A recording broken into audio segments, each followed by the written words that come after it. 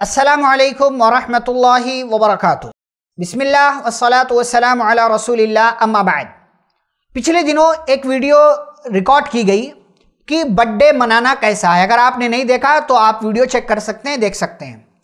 Birthday मनाना कैसा है, सालगिरह मनाना।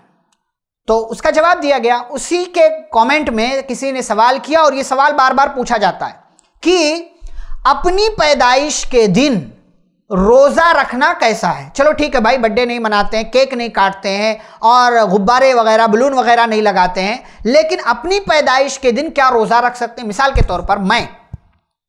मैं अगर, एक मोटी मिसाल मान लें, मैं अगर पाँच तारीख को पैदा हुआ, अगले साल वो पाँच तारीख उस महीने की आएगी तो क्या मैं उस दिन रोज़ा रख सकता हूँ? मैं बर्थडे नहीं मना रहा हूँ तो क्या मैं रोज़ा रख सकता हूँ?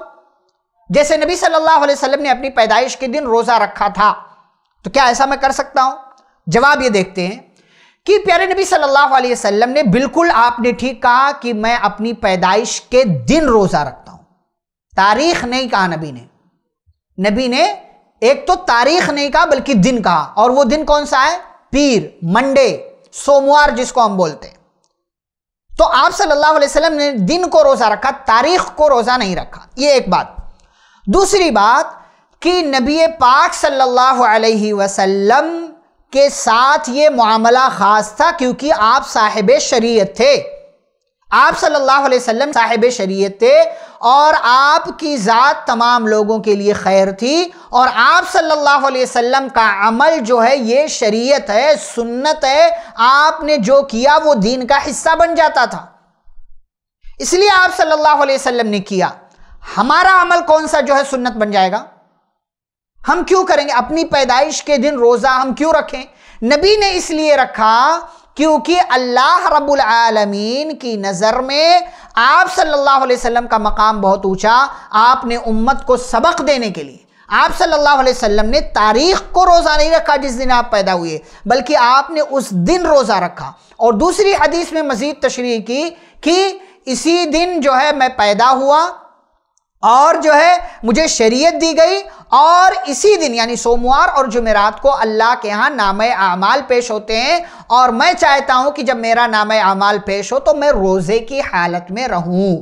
और आप देखें अगर मान लेते हैं कि चले भाई, आप ये कहते हैं, अपनी पैदाइश के दिन मुझे रोज़ा रखना है तो ये गलत बात आप करेंगे।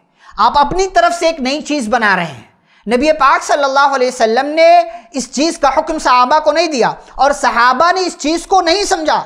हमें कुरान और हदीस जो समझना है ना, वो सहाबा के मनहज के मुताबिक समझना है।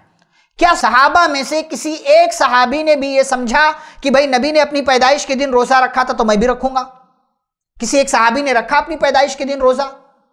किसी एक सहाबी ने रखा अगर हमारा सवाल ये है और हम रखना चाहते हैं, नीयत अच्छी है, नीयतों पर हमला नहीं है, नीयत बहुत अच्छी है, अल्हम्दुलिल्लाह।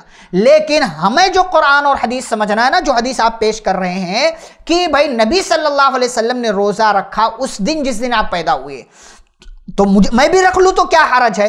तो क्या सहाबा ने यह मफहम समझा है?